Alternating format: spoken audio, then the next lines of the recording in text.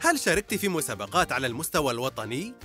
نعم آه، تحصلت على العديد من الجوائز الوطنية الحمد لله والمراتب الأولى آه، في آه، في حكواتي صغير تحصلت على المرتبة الأولى في مسرح باش تغذي وكذلك في المسرح وكذلك في المرشد السياحي صحي صغير تحصلت على المرتبة الأولى.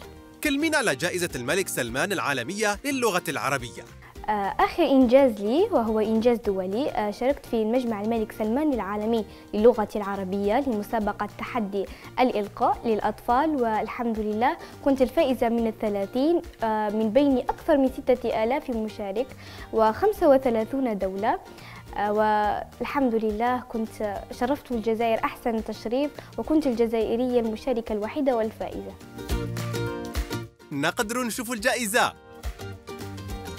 هذه الجائزة التي تحصلت عليها من مجمع الملك سلمان العالمي للغة العربية لقدومي هناك في أرض المملكة العربية السعودية وحضور حفلها. ولقد سلمها لي الأمين العام سمو الأمين العام للمجمع الملك سلمان العالمي للغة العربية.